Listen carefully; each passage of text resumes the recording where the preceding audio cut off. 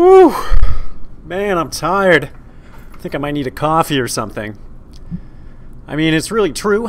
We all need energy to survive. Um, whether we're looking at the sun right here, the sun has tons of energy. And right here, cell phones, they require a ton of energy. And if you look at me and you, we definitely need energy to live.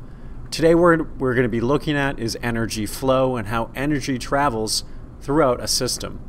I think a nice easy system to start us off would be electricity and how electricity is produced and how it's consumed in the United States. Um, so when we're going to look right first, look at first is how energy is produced in the United States and there's so many ways it's produced.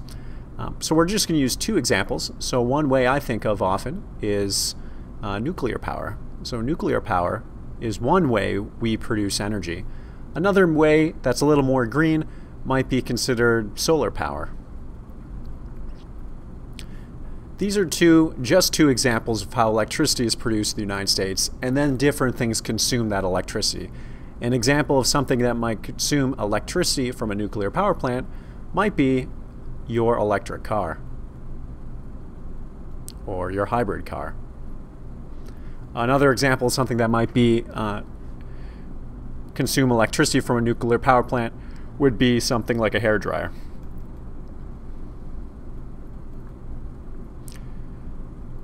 Also, so your nuclear power plant is producing electricity, it goes into your electrical car, but then you're also consuming energy within that electric car to something like your radio. Okay, that's how one small example of how electricity is produced and how it's consumed by different things here in the United States. Now let's look at life. So when we think about things that produce energy, first of all, everything starts with the sun. So that's why we had the sun right here in the very beginning, because all of the energy on this earth that life uses starts with the energy from the sun.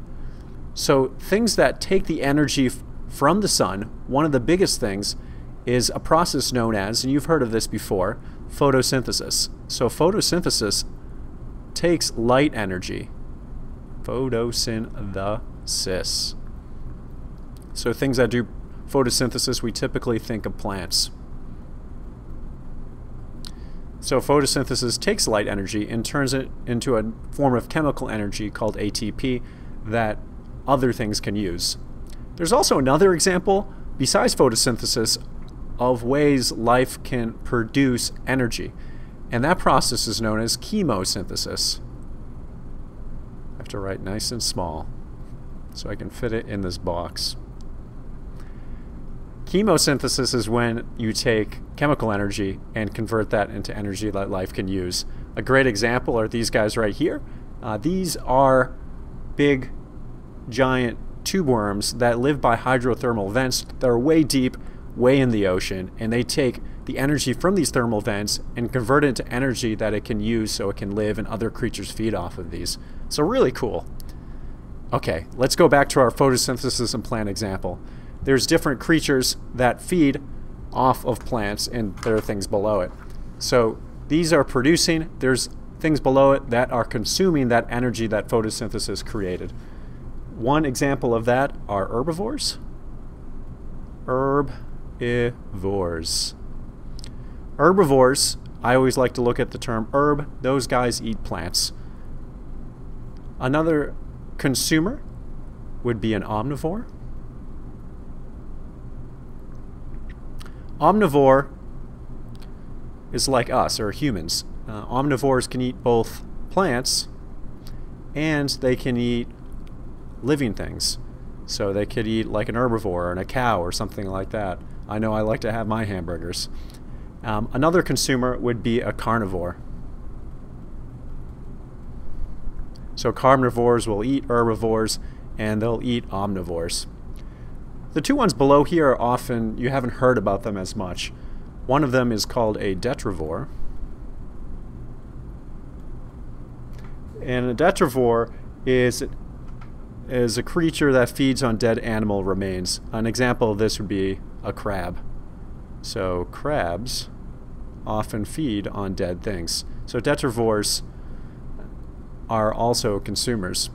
Another one that you probably haven't heard of are called decomposers. Examples of decomposers are things like fungi and bacteria, and what they do is they break down organic matter. So right here is you know the flow of energy of life. Up here at the top you have plants and different things taking light energy and converting it into chemical energy that life can use.